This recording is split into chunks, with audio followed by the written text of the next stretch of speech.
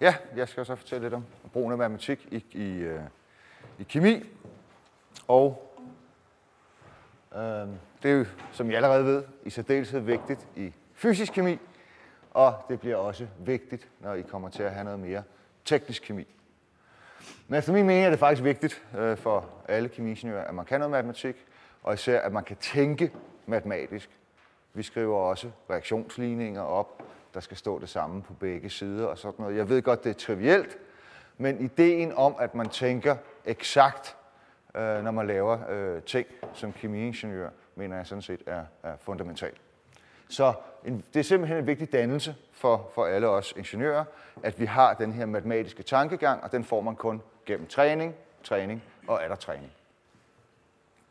Øh, jeg ved, I kender den her figur fra øh, fysisk kemibogen, og så tænker man, jamen hvad er alt det der for noget, og det er noget meget abstrakt noget, og der er noget energi, og der er nogle partielle afledet, og der er det ene med det andet. Men det er altså det sprog, man taler i, inden for den fysiske kemi, og det bliver det også inden for den tekniske kemi. Så det er man simpelthen nødt til at beherske. Man er nødt til at kunne afkode, når man ser sådan noget der.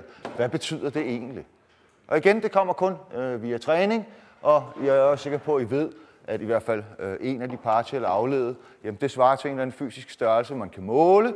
Så igen, hvis man kan sin matematik, hvis man kan udlede de her ting, så kan man komme frem til, at en energiændring i et eller andet system øh, har noget at gøre med en varmekapacitet, som man så kan måle, og så kan man komme frem til sine eksperimentelle resultater. Så matematikken er simpelthen vejen til at forstå øh, sammenhængen mellem de eksperimenter, øh, man laver. Så har jeg valgt at, at bare vise tre bevægelsesligninger her, hvor øh, Nabla indgår, for jeg forstår, at I har lavet noget meget avanceret med, med Nabla her, så nu har jeg bare taget tre bevægelser, hvor de indgår. Newtons anden lov, som jeg er sikker på, I kender, i hvert fald på den første form, men på anden form, der kan vi se, at det har faktisk noget at gøre med gradienten af, af den potentielle energi i systemet, og det vil sige, kender man den, så kan man sige noget om, hvordan tingene bevæger sig. Så kan man afkode det der, så kan man også afkode nogle af de billeder, jeg vil vise om lidt, øh, så man kan få ud fra, at man kan sin matematik, en kvalitativ forståelse for, hvad der, hvad der foregår, når man ser på det, man har regnet ud, og selvfølgelig også en kvantitativ, hvis man regner efter. Så er der øh, det næste, det er noget, der handler om diffusion. Øh, ro, det er en funktion, der fortæller noget om, øh, hvor man er henne øh, til en eller anden given tid, hvis man ved, øh, hvor man var henne øh, til at starte med. Og endelig, så er der den, som er det helt fundamentale for for, for kemi nede på det molekylære niveau. Schrödinger-ligningen, hvor Nabla-sørmer også indgår, som også fortæller os noget om, hvilken struktur et eller andet øh, molekylært system har. Hvad er sandsynligheden for at finde de her kugler, de her øh, øh steder. Og som I kan se, de var relativt glade for sig selv, da de havde skrevet øh, den her Schrödinger-ligning ned, at det er simpelthen, at øh, den matematik, som er nødvendig for at forstå al kemi, ligger simpelthen så hvis man kan løse den, så kan man al sin kemi. Det, det eneste problem er, at det kan man så bare ikke, fordi øh, den, øh, der kommer til at indgå forfærdeligt mange øh, frihedsgrader øh, lynhurtigt, og så kunne man ikke løse det problem i 1929, og det kan man stadigvæk ikke. Så det, der er behov for, det er, når man kigger på de ligninger, det er at sige, hvad er indholdet af ligningerne, så kigger på, man på det øh, problem, man står overfor, og så siger man, hvordan kan det problem, jeg står overfor, reduceres til de her ligninger, og hvordan kan jeg reducere de ligninger yderligere til et omfang, som jeg er i stand til at løse. Så det er simpelthen et spørgsmål om, givet et eller andet problemstilling, stille en matematisk model op for den problemstilling, øh, måske eksakt til at starte med, og så gå videre til at øh, finde tilnærmelser, som gør, at man kommer ned på en model, man så rent faktisk kan løse. Og igen, det, alt det, det kan man kun, fordi man har gjort det rigtig, rigtig mange gange. Hvis vi nu tager for eksempel fix lov, så tog jeg så, et, jeg ved godt, I ikke kan læse det, det er heller ikke så afgørende, men en artikel skrevet af øh, nogle af kollegerne på øh, kemiteknik, der handler noget om øh, svovls indtrængen i øh, kalk. Og det er faktisk fix lov, der står her, som de bruger, og det der er det allervigtigste her, det er ordet model. Altså igen, vi har en eller anden konkret fysisk problemstilling, den er vi nødt til at forstå så godt, så vi kan omsætte den til en matematisk model. Og det kan vi jo også kun, hvis vi forstår matematikken godt nok til, at vi kan omsætte det til modellen. Så det er simpelthen arbejdet. Så har jeg været så ubeskeden at tage en af mine egne artikler, som handler om noget helt andet. det handler om spektroskopi. Der er også brugt en model, og det er faktisk også Fiks der er brugt der. Fordi det viser sig, at der er nogle matematiske fællestræk mellem spektroskopi og diffusion i kalksten. Og igen, det ved man også kun, hvis man har tilstrækkelig stor indsigt i, hvad det er, de ligninger, som man sidder og løser, egentlig beskriver for en, øh, for en type øh, øh, bevægelse, hvis det er bevægelseslinjer, det handler om. En tredje ting, man kan hive ud af den, det er noget med transportegenskaber, skal jeg bare vise. Og øh, der har man altså brug for nogle gange at kunne noget analytisk også. Der har vi igen den samme lovmæssighed, og kan man sin integralregning og så videre, så kan man finde ud af, at ud fra den lovmæssighed, så kan man lære noget om transportegenskaber i kemiske systemer, man kan lære noget om ledningsevne, man kan lære noget om en hel masse ting. Igen, ud fra den samme lovmæssighed, det er den samme formel, der bruges i tre vidt forskellige problemstillinger. Øh, men altså, øh, ved at analysere problemstillingen tilstrækkeligt grundigt, kan man så indse, at, at det faktisk er den lov, der skal bruges, og har man løst den ligning tilstrækkeligt mange gange, så er man færdig. Og, og det ved jeg også, at, øh, at, at øh, jeg i hvert fald også nogle gange siger i undervisningen, at det svære problem er jo at få skrevet den matematiske ligning ned, der dækker problemstillingen, og så er det nemt for resten. Men det er jo kun nemt for resten, hvis man rent faktisk kan løse de matematiske øh, ligninger, som man så bliver stillet overfor. Det der ved jeg, at jeg har vist nogle af jer i hvert fald i almen kemi, det er noget så banalt som det allersimpleste atom, vi har. Øh, og der kommer nogle løsninger ud derovre. Og jeg tror, da jeg fortalte om det, øh, så havde vi ikke al den matematik til rådighed, der gjorde, at man kunne løse det. Men det har vi nu, fordi nu ved vi noget om partiel afled, vi ved noget om Nabla-Jan-operatoren og hvordan den skal skrives om osv. Og igen, altså man kan ikke være kemiker uden at at kunne noget så simpelt som det simpleste atom, vi har med at gøre. Det hører simpelthen med til uddannelsen, at man kan den slags, og der er man altså nødt til at komme op på et matematisk niveau, hvor man kan være med til det. Det her vil jeg ikke gå så meget ind i. Det er, når vi så kommer til molekyler, så skal man så skrive lidt videre på den her ligning, som jo altså som sagt beskriver al kemi, men man er nødt til at proximere sig frem for at kunne øh, løse det. Den her har jeg også vist jer før.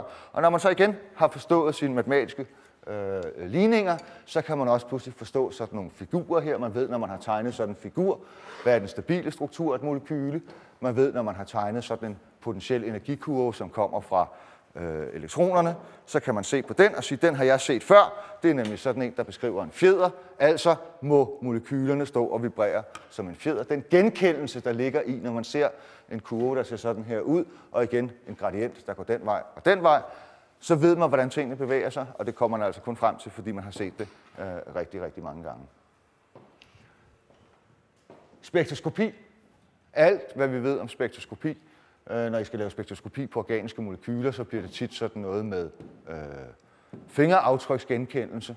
Man har en stor rutine i at afkode spektre, men man kan jo altså også regne sig frem til spektre, og igen skal man kunne sin matematik for at kunne alt det, og så kan man lave sådan nogle billeder her, som man så kan fortolke og sige, hvad har alt det her med et molekyle at gøre? Jamen igen, det er en matematisk model for, hvad der sker inde i et molekyle, når vi, øh, når vi laver spektroskopi. vi har to forskellige tilstande, som man så igen kan regne ud, hvad er energiforskellen, og man kan sammenligne med sit spektrum, og på den måde erhverve sig en forståelse for, hvad det er, der sker inde i molekylet. Og det er jo altså sådan noget, der også bruges i mere, hvad skal man sige, målrettet sammenhæng, en af mine kolleger på Kemisk Institut arbejder med at lave rationel udvikling af særlige øh, industrielt interessante makromolekyler. Og det er sådan noget, der er et eksempel på her, og har en meget ingeniørmæssig tilgang til tingene.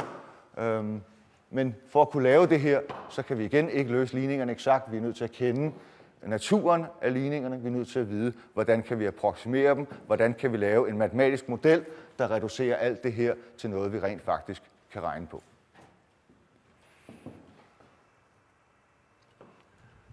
så har jeg taget sådan en her med, en simpel kemisk reaktion. I har set et Arrhenius-plot. Vi har simpelthen bare et, øh, et system her, der består af et atom og et diatommolekyle. Og herover der har man så skiftet atomerne ud. Når man ser sådan et energilandskab, og man ved noget om, hvad det er for nogle ligninger, der bestemmer tingene, så kan man også, uden at regne på det, forudsige, hvordan bevægelsen vil være. Det er sådan en slags kælkebakke, man kører rundt på at man kører hernede i dalen, og så kører man op over en bakke, og så kører man ned på den anden side. Og, og lave sådan nogle mentale billeder af, hvordan tingene foregår. Ja, det gør man jo altså ved at kigge på ligningerne og kigge på løsningerne af ligningerne, og så kan man så tegne sådan nogle flotte billeder, som illustrerer, hvad der er, der foregår. Men de siger jo kun naboen noget, hvis naboen er lige så veluddannet i, hvordan ligningerne øh, hænger sammen, og hvordan øh, hvordan, hvad indholdet af de ligninger er omsat til sådan nogle øh, mentale billeder. Så har jeg lavet sådan en, en øh, samlefigur her af det her molekyle. Sådan her øh, ser det ud. Så det kan stå og vibrere, så kan det så øh, også gå i stykker. Det har vi målt lidt på herovre, så har vi regnet lidt på det. Og igen, hvis man lige skal starte en gang, så har vi altså lavet en beregning, hvor vi har lavet sådan nogle øh, kælkebakker, og så har vi sådan en blok, der kører frem og tilbage. Og så kan man spørge, hvad, hvad søren er det, og hvad har det med molekyle at gøre? Ja igen, hvis man kan sin matematik, så kan man altså omsætte det her molekyle til nogle matematiske ligninger, som man så kan sætte sig op og løse. Og så ved man så, at det blok her, det fortæller en noget om, hvordan det her molekyle står og vibrerer. Så igen, man går fra den øh, øh, øh, helt problemstilling via ligningerne, løser ligningerne, i det her tilfælde på en computer, får noget frem, der overhovedet ikke ligner et molekyle. Men fordi man ved, at man har lavet, så kan man jo oversætte det tilbage igen til, at det simpelthen bare er en molekyle, der står og vibrerer. Der er regnet over taler ud, jeg ved ikke, kender taler fra, fra almindelig kemi, naturligvis organisk kemi. Jamen, det er jo altså også noget, som forskningsmæssigt sidder og regner på, øh, der er illustreret deroppe. Og det sidste, jeg vil vise, det er sådan set noget, som har øh, hvor det er lidt mere åbenlyst, at det er hylder, man regner på. Det er jo sådan noget, hvor vi har øh, heroppe lidt svært at se lyset, men deroppe har vi en hylde, der bevæger sig rundt. Så der har vi så taget de matematiske ligninger og, og løst dem for et problem, så skrevet det ved meget kompliceret øh, kælkebakke derovre med er meget kompliceret energiforhold, øh, som vi så ingen gang kan løse eksakt, men fordi vi har indsigt i og indsigt i kan vi prøve at reducere det til et simplere problem, som så øh, kan sætte op på computeren og løse ligningerne derovre, og få en idé om, hvad, hvad sker der, nu, når det her molekyle øh, går i stykker ved at løse de pågældende ligninger, altså og så sammenligne med øh, eksperiment i sidste ende, og det skal vi gjort hernede, det er vores beregning, og krydserne hernede, det er øh, eksperiment. Så altså, øh, inden for den øh, fundamentale den molekylære kemi er der masser af matematik. Som sagt, den er, den helt hele matematikken. Vi kan ikke i nogen som helst tilfælde løse den. Så det, der er vigtigt, det er, at vi kan gennemskue vores problemstilling, gennemskue, hvor er det muligt at lave approximationer, og så selvfølgelig løse ligningerne i det bedste omfang, øh, vi kan. Når jeg så senere hen kommer til øh, at lave mere kemiteknik, så er problemstillingen fuldstændig den samme. Der har vi nogle dimensioneringsproblemer.